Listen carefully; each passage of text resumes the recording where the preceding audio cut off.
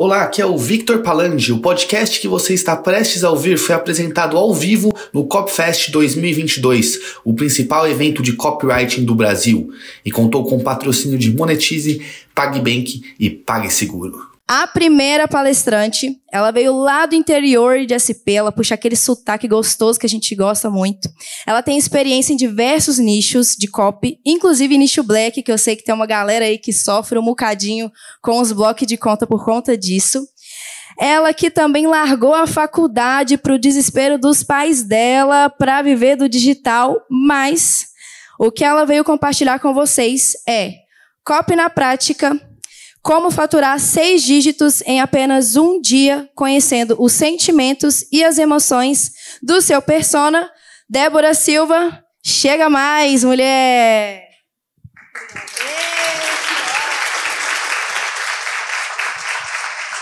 Bom dia, pessoal.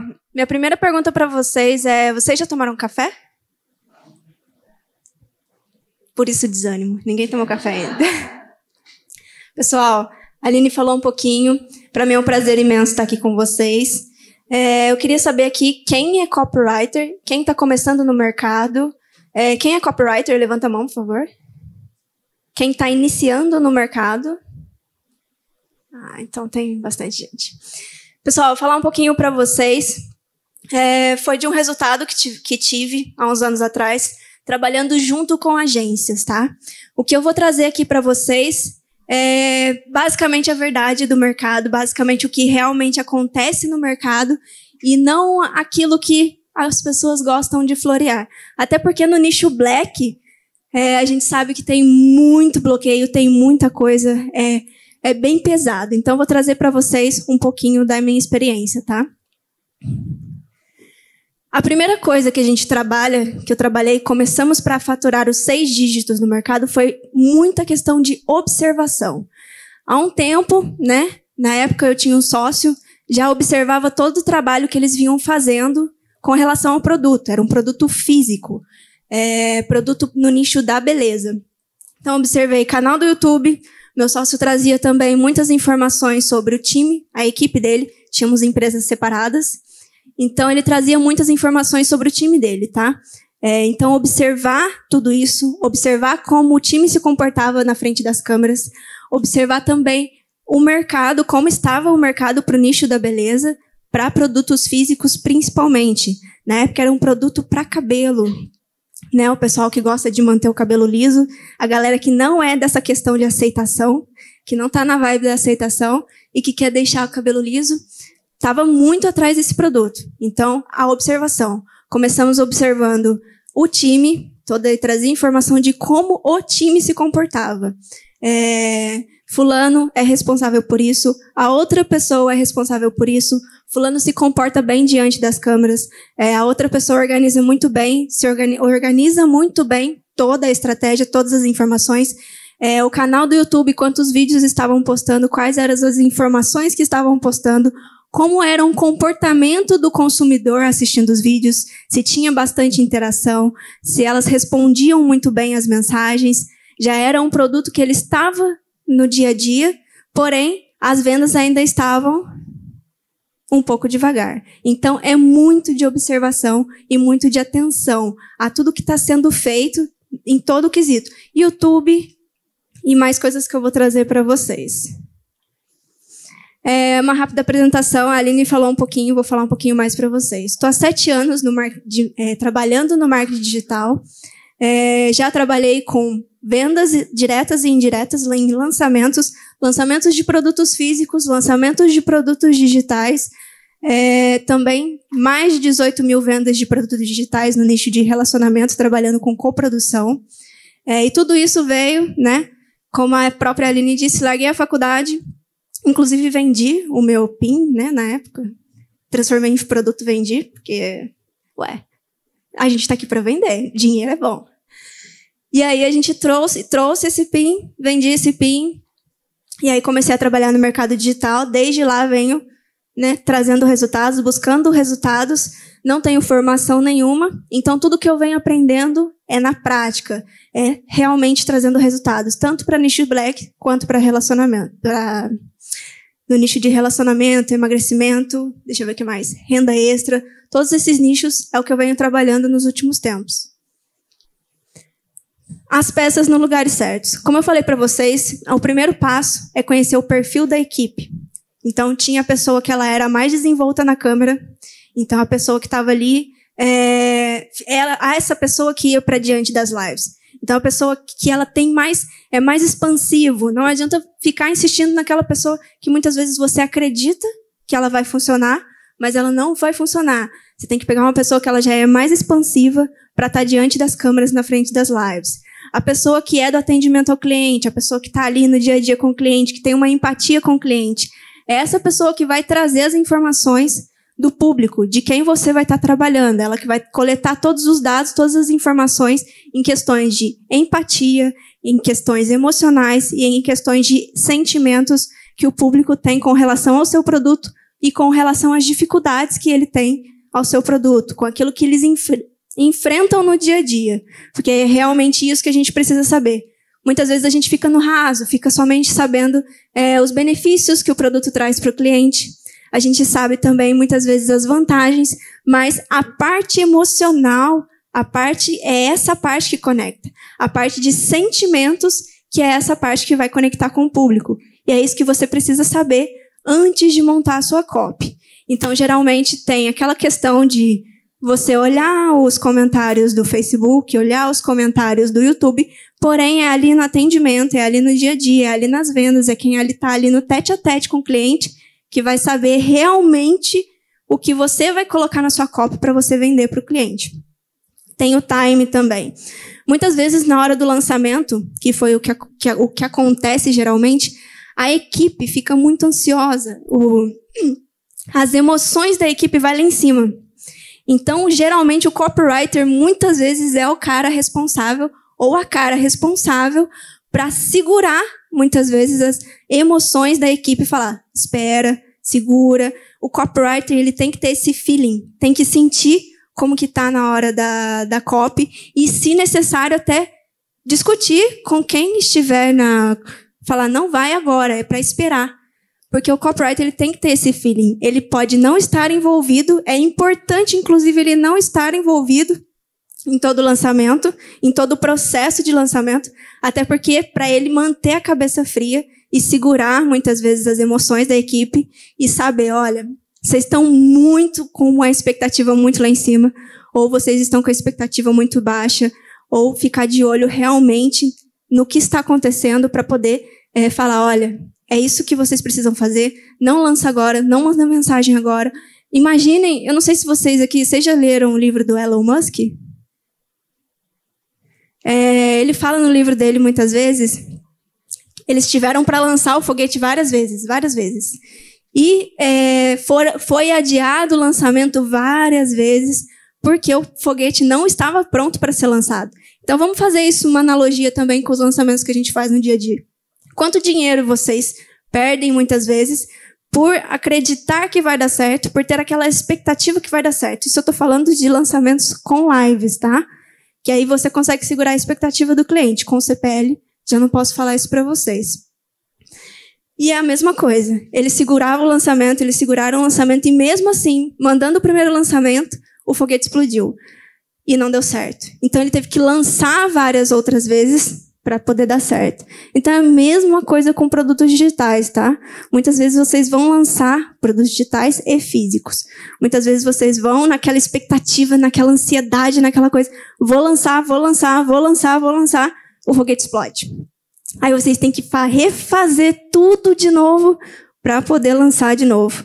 Então é, é bom vocês ter uma pessoa de, na, nesse lançamento em específico. Era eu essa pessoa para falar, ó, ou você segura agora, ou você vai perder dinheiro, ou você, entendeu? Então segurar muitas vezes a ansiedade do cliente por saber o que está fazendo, muitas vezes é responsabilidade do copyright, do copywriter, né? As emoções. As emoções do cliente, no, no caso, eram mulheres. Então, mulheres conhecem mulheres, né? Vamos combinar. Então, a ansiedade para elas quererem comprar o produto, querer estar com o produto, a expectativa era muito alta. Porque o produto estava em alta no mercado e elas já estavam vendo o produto em uso no dia a dia. Então as vendas foram fechadas, houve um re, uma remodelagem da marca para que depois fosse feito o lançamento. Então tinha ali alguma, alguma coisa envolvida, tinha um quê, tá? É, envolvido em toda aquela situação, em todo aquele produto, para que até as clientes que já conheciam o produto sentissem vontade de, adquirir aquele produto de novo. Então, fechou as vendas, para que elas não vendessem, para que não vendessem mais, foi feita uma remodelagem da marca, foi criada toda uma expectativa envolvendo toda e trabalhando principalmente com a ansiedade e a curiosidade das clientes. É, não, não vou falar de gênero aqui, porque homens também são curiosos. Mas geralmente as mulheres daquele produto, daquele nicho em específico, elas já tinham uma curiosidade muito grande. Elas ansiavam, elas esperavam para o lançamento de um novo produto. Então a remodelagem da marca foi, a, foi chave, inclusive, para esse lançamento. É, vamos mergulhar um pouquinho no cenário, tá? É, o nicho era beleza da mulher. É, não tenho essa informação do SEO, tá? Para trazer para vocês. É, se isso também é legal vocês analisarem quando vocês forem trabalhar, qual a palavra-chave que está sendo mais pesquisada no Google também é uma informação importante para vocês na hora de lançar. Então, beleza da mulher talvez fosse é, um, um, algo em alta. Então, colocou beleza da mulher com dois Ds, dois Zs. É, foi criado um e-commerce, foi criado também um canal no YouTube, é, foi feita toda essa remodelagem, foi é, feito um trabalho com influenciadores digitais, no caso foi uma influenciadora digital. Então teve um foco ali em uma influenciadora digital. Ela ainda estava no início da carreira dela.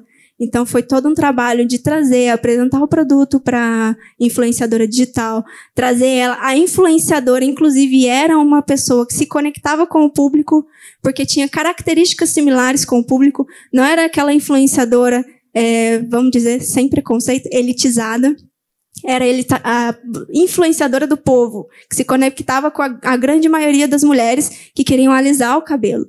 Então, a, até mesmo a, a, seleção da influenciadora tem que ser feita a dedo, para você olhar para o público, olhar para a influenciadora e falar isso aqui, essas pessoas vão se conectar ou essas pessoas não vão se conectar. Hoje, tá? A gente trabalha, hoje dá para trabalhar com dados, mas na época não tinha dados. Eu não trabalhava com dados, pelo menos.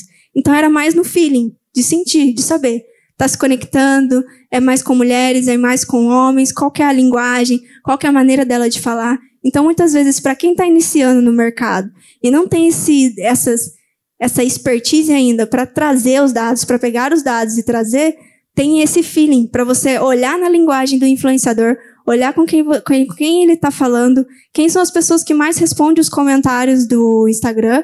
E aí, você, Instagram, YouTube, Tá? Influenciadores hoje não são limitados a Instagram. E trazer essa pessoa para trabalhar. E a equipe mega engajada. Eu trabalhava, trabalhei com uma agência nesse caso e foi feita toda uma antecipação também com o time de vendas, porque o time de vendas ele tem que estar alinhado com o marketing. O marketing ele vai fazer todo o trabalho de trazer pessoas para o time de vendas. Porém, se o time de vendas não tiver alinhado ali para receber ou tiver também com aquela mesma vontade de vender que o time de marketing tá de trazer pessoas, então isso pode muitas vezes não funcionar. Então foi feita toda uma primeira estruturação com o time de vendas. O time de vendas teve metas, é, premiações, é, várias coisas que eles para que eles pudessem sentir vontade realmente de estar ali 24 horas, né? Foi feita até um, uma hora extra do time de vendas por vontade própria, para que eles pudessem estar ali é, vendendo mais, entregando mais para essa cliente. Então não era uma questão. O próprio time de vendas comprou primeiro o produto antes de, de fato, vender para os clientes. Então isso é muito importante. Se o seu time de vendas ele não acredita é, no que ele está vendendo, o seu copywriter não vai acreditar no que ele também está escrevendo, não vai acreditar na estratégia que ele está estruturando, não vai acreditar no que ele está fazendo. Então, o seu time de vendas precisa acreditar, você precisa passar essa credibilidade para o seu time de vendas, e aí também você vai conseguir passar para o resto da equipe e principalmente para o seu copywriter. Eu falo isso por experiência própria, tá, gente? Eu já trabalhei com produtos que muitas vezes o, o dono do produto ele não, não traz essa credibilidade. Ele não sabe passar, os donos dos produtos não vai saber passar o que ele faz. é, o que o produto traz para o cliente, mas ele não acredita no produto. Para ele é mais um produto para vender.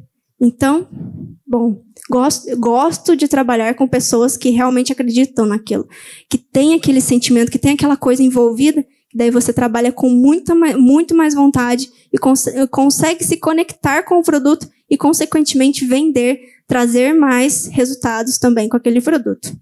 Sobre pesquisa de concorrência. Na época, tá, gente? Não teve pesquisa de concorrência. A gente não olhava para a concorrência, simplesmente cegou para a concorrência. Não vou olhar para a concorrência, vou fazer o meu melhor dentro desse produto, com o que eu tenho, com as pessoas que eu tenho, com o time de vendas que eu tenho, com o produto que eu tenho. Então, nesse momento, não vou olhar para a concorrência, não interessa a concorrência para mim. Eu vou simplesmente vender, fazer o meu produto vender, o produto que está aqui vender. Por quê? Porque o time de vendas acreditava no produto, porque o dono do produto acreditava no produto, porque a agência acreditava no produto e o copywriter acreditava no produto.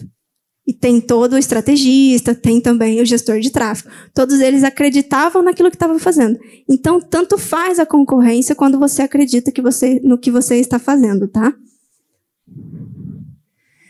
Sobre gatilhos mentais. Eu, particularmente, não gosto de falar muito de gatilhos mentais, mas eles fa ele faz, muito, faz parte da escrita. É, coloquei aqui uma foto dos templates que foram feitos. Para vocês terem uma ideia de como foi estruturada isso, é, tudo foi estruturado em bloco de notas. Então foi uma coisa que o time estava tão envolvido, que a equipe estava tão envolvida, que na hora de enviar as mensagens, elas foram feitas num bloco de notas e aí foram disparadas pelo WhatsApp. A gente trabalhou muito o gatilho, o gatilho da urgência, que é usar. Ó, o meu sotaque já está fluindo, ó. Usar elementos de escassez para fazer o lead agir. Ou seja, você vai deixar a pessoa ansiosa, você vai deixar a pessoa com aquela coisa, trazer muita especificidade, todos juntos. Você vai trazer especificidade, falar para ela: se você não agir naquele dia, a gente vai trazer esse produto, a gente vai trazer essas informações, a gente vai trazer essas coisas, a gente vai trazer essa nova marca, a gente vai trazer isso, a gente vai trazer isso. E aí você vai envolvendo o cliente naquilo, você vai envolvendo o lead, o lead naquilo e você vai elevando as expectativas do lead e aí nisso a pessoa vai criando expectativas. Para vocês terem uma ideia, na hora de antes de abrir o carrinho, as, as clientes já estavam lá. Que horas vai abrir? Que horas vai abrir? Que horas vai abrir? Então esse é um feedback muito necessário para o copywriter. Na hora do lançamento, o copywriter, como que tá a expectativa do público? Ah, eles estão perguntando ou eles não estão perguntando. Se eles não estiverem perguntando nada, tem problema aí. Então tem coisa a ser resolvida. Agora, se os clientes já estão perguntando, se já estão ansiosos para comprar, então é porque já a expectativa gerada foi uma expectativa muito boa. Então, a, trabalhar o gatilho da urgência, trazer para eles, olha, a gente vai trazer novidades, mostrar muitas vezes o produto em ação sem ele estar vendendo. É, você vai trabalhar, vai trazer as influenciadoras, elas vão estar tá usando o produto, vão falar que vai trazer por um preço bem bacana, do jeito que a influenciadora muitas vezes sabe fazer.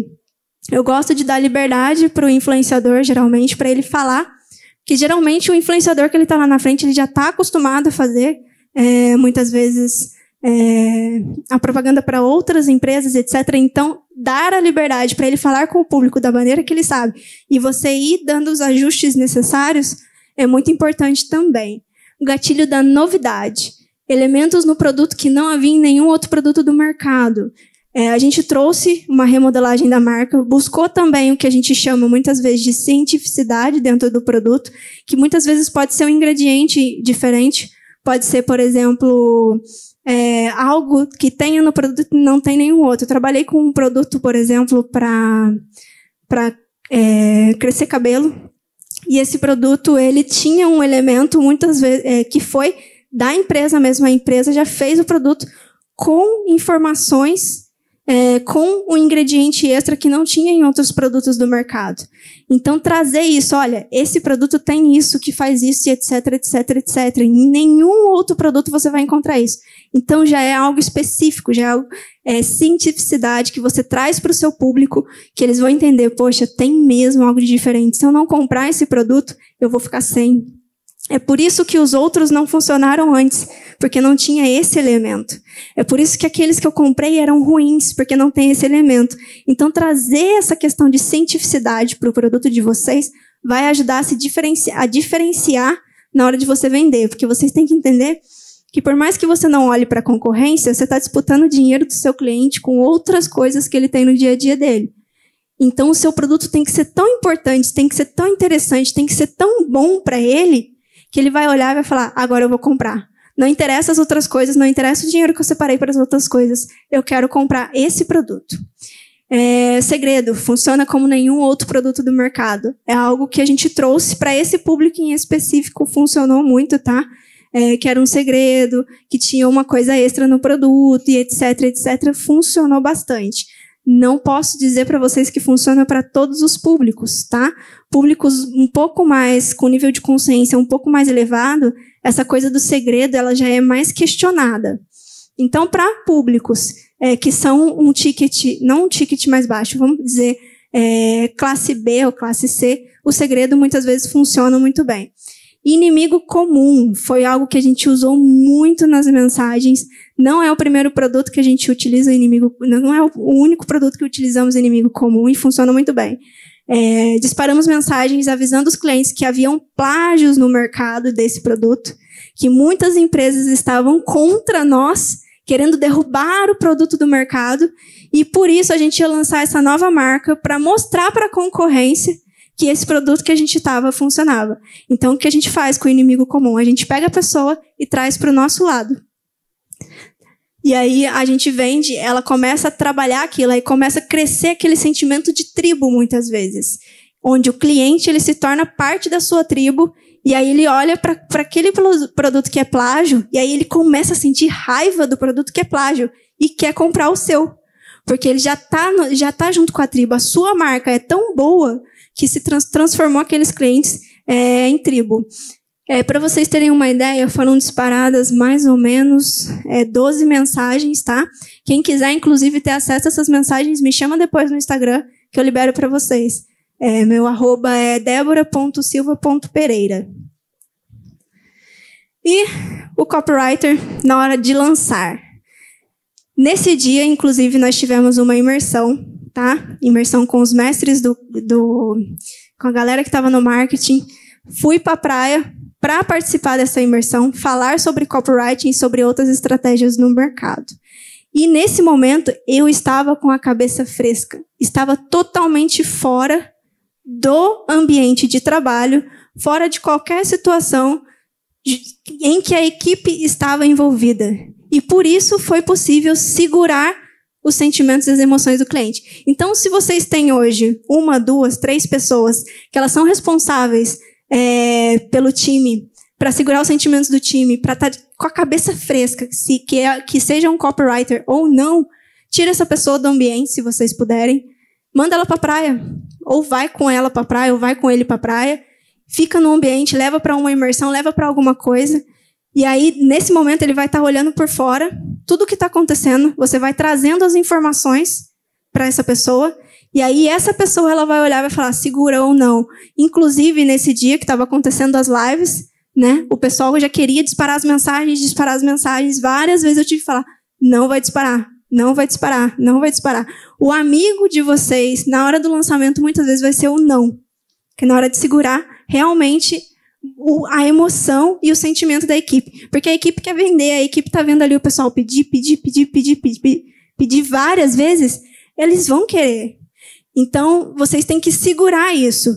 E nas lives, muitas vezes, também é muito importante vocês estarem presentes, mostrar para a equipe de vocês que vocês estão ali junto com eles, dentro da das lives, participando das lives, pra, até para ir ajustando o que está acontecendo. Olha, você falou isso dentro das lives, não gostei, muda, coloca essa outra informação, que eu acho que vai ser melhor. Olha, fizemos duas lives, o público não não estava muito não, não estava muito legal, vamos fazer a terceira, vamos fazer à noite, vamos fazer de manhã.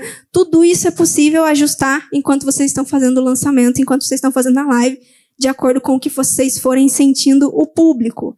Então, todas essas coisas, é muito importante vocês estarem conectados com a equipe de vocês, ou conectado com quem quer que vocês estejam fazendo o lançamento, para vocês ir guiando, para vocês ir ajustando, muitas vezes no meio do caminho. Porque não necessariamente tudo sai perfeito, né, gente? Isso nós, nós já sabemos. Então, conforme você for vendo, tipo, solta isso, solta essa informação, solta aquela informação, solta aquela outra informação. Você tem a possibilidade de ir ajustando isso com o tempo, tá? Durante o lançamento. E o que rolou dentro do lançamento foi estrutura para o lançamento, a marca, estruturação da embalagem, lives, e-mail, sempre teve os e-mails. Teve também o WhatsApp, que foi os disparos pelo WhatsApp. Graças a Deus trabalhamos muito bem com o WhatsApp, não teve bloqueios nessa época, nesse momento. Time todo engajado, páginas de venda, páginas de captura, promessa e preparação da logística, porque não adianta nada você vender aquele acúmulo de informações, você vender aquele acúmulo de produto e depois a sua logística não entregar o produto. Porque assim que os clientes compram, eles querem receber. Eles já compraram hoje, eles já querem saber se está no carrinho. Eles já compraram hoje e querem saber se está sendo enviado. Então a sua equipe logística também tem que estar tá pronta para isso. Eles têm que ter todas as informações no, do, na, em mãos, até para não atrapalhar o time de venda que vai estar tá continuando a fazer o lançamento. O lançamento foi feito em um dia, mas tem continuidade. A gente atingiu aquele pico de faturamento, porém, ainda vai estar tá dando continuidade. Então, a sua equipe de logística precisa estar tá ali para já estar tá enviando esse produto. Inclusive, pessoas que recebem o produto do, durante o lançamento, já é mais uma prova social que vocês podem enviar durante o lançamento para quem está ansioso para comprar também. Então, tudo isso é material, toda eficiência que você trouxer na hora de fazer o lançamento é material para vocês na hora de vender mais. Então, a cabeça do copywriter, tá? A minha cabeça, pelo menos, é sempre pensando em vender mais, vender mais, vender mais, vender mais. Então, tudo que, que gira em volta do produto, tudo que gira em volta do cliente, em volta da persona, é para vender mais e gera provas para vender o produto. É, voz de comando em todas as mensagens. Para esse público em específico, é necessário você dizer exatamente o que ele tinha que fazer. Então, às X horas vai ser liberado X unidades, e, e isso, isso, faça isso, escreva isso, coloque isso. Então, você coloca ali uma voz de comando. Você coloca ali, faça, execute, espere, aguarde, tudo isso para o seu público saber. E aí você coloca informações. Vão ser liberadas assim, 500 unidades e tenho é, duas mil pessoas esperando, vão ser liberadas 10 unidades e tenho mil pessoas na fila esperando para ele sentir essa pressão, sentir essa necessidade na hora de comprar o seu produto. E o meu acompanhamento de todo esse processo foi totalmente em off. Eu não cheguei a estar totalmente presente com a equipe, tá? Se vocês tiverem um copywriter, às vezes muito, às vezes é muito legal vocês tirarem essa pessoa da pressão que a equipe às vezes está sentindo porque eles vão passar essa pressão para o copywriter, que precisa estar tá com a cabeça fresca para escrever, para dar as informações e fazer a roda girar. E os resultados, que é o mais importante, foi o pico de faturamento, 100 mil reais em um dia. Então, vocês veem que foi um, teve um pico de faturamento, depois a gente foi, foi fazendo as lives, e aí foi caindo, e aí no último dia teve aquele pico. E isso foi para um produto físico, produto do nicho da beleza, um produto simples para alisar o cabelo. Então foi feito todo esse trabalho de marketing em volta do produto, já para transformar um produto para essas clientes que, que realmente queriam comprar e transformar isso em algo que desse dinheiro para a gente, né, gente? Que é o mais importante. Pessoal, é isso, tá? Eu espero que eu tenha sido ajudado vocês, que tenha deixado bem claro para vocês as informações. E eu queria saber se vocês têm alguma dúvida, se vocês querem perguntar alguma coisa. Qual foi o investimento em mídia? O investimento em mídia, eu não tenho acesso a essa informação, que geralmente fica com a agência. Mas não tenho muito acesso a essa informação, não. Esse, esse pessoal em específico, eles trabalham muito bem com orgânico. Então, o investimento provavelmente não foi tão alto. Deve ter tido um ROI bem bacana. Porque eles são muito bons em orgânico, muito bons na, em atrair clientes sem, necess, sem necessariamente investir muito pesado. CAC? Não, não posso. Mais alguma pergunta?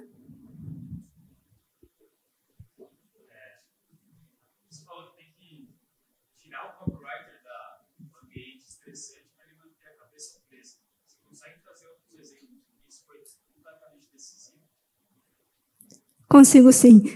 É, trabalhei em outro produto que foi produto para cabelo também, é, em que trabalhei com uma, com, com uma empresa que nem era da cidade onde, onde eu trabalho. Então, eu estava totalmente fora do processo. É, produto também para ejaculação precoce, em que a empresa era do, de outra região de São Paulo e eu estava totalmente fora do processo, estruturando todo o processo, enquanto o pessoal fazia toda a outra parte. É, lançamento também, deixa eu ver, o lançamento mais recente que fiz, é, fui até São, vim até São Paulo, esqueci que eu estou em São Paulo. Vim até São Paulo, conheci o expert, conheci toda a equipe, entendi como que seria o lançamento do produto, entendi todas as informações que eram necessárias, voltei para minha cidade, em Cruzeiro, e de lá fiz o lançamento. Posso dizer que isso funciona muito bem para mim, tá? Estar distante na hora de fazer o lançamento. Adiei esse lançamento pelo menos três vezes. Por quê? O expert ele era um influenciador e é uma pessoa um pouco é, de gênio, um pouco doida. E é a melhor característica dele, tá, gente? É uma pessoa um pouco doida e ele tem muito isso de não ter foco na hora de, de fazer lançamento. Ele tem muito isso de procrastinar, tem muito isso de atrasar, de, de tipo, você ter que ficar ligando, ligando, ligando, ligando para ele, para ele lançar, para ele fazer, cumprir aquilo que ele, que ele prometeu. Não por mal, mas sim porque ele realmente tem essa característica dele. Então adiei esse lançamento três vezes até que ele falar, até que estivesse as coisas. Vai, tá pronto? Agora você vai? E aí lancei. E isso tudo fora, geralmente sai até uns palavrões no meio, mas acontece. Vocês mais alguma pergunta?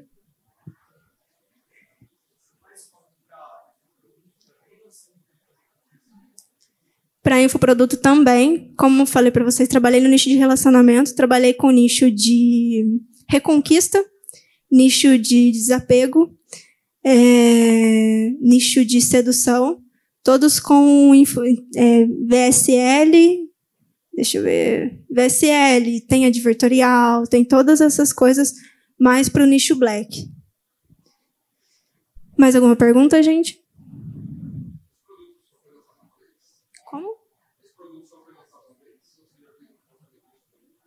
Esse produto foi lançado uma vez, depois não teve mais. Bom, até onde eu sei, né? Não sei. Mas foi lançado com a reestruturação da marca, foi lançado só uma vez. Mais alguma dúvida?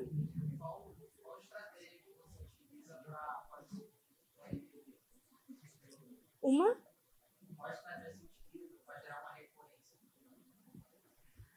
Olha, na época que eu trabalhava com coprodução, para gerar recorrência, geralmente teve o produto, tem o produto perpétuo, né? Que é o produto que a gente está vendendo todos os dias.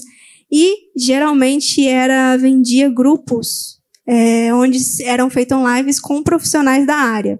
Então trazia a pessoa, tinha o perpétuo, que a pessoa tinha acesso aos e-books e etc.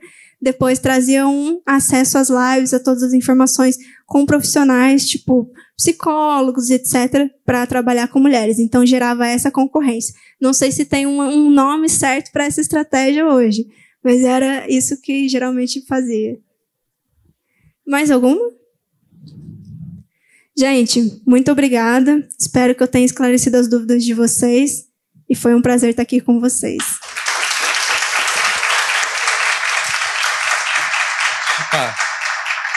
E aí, curtiu? Teve algum insight? Estamos esperando sua resposta em nossas redes sociais, arroba Copfest no Instagram, LinkedIn e TikTok. Te encontro no Copfest 2023. Tchau, tchau.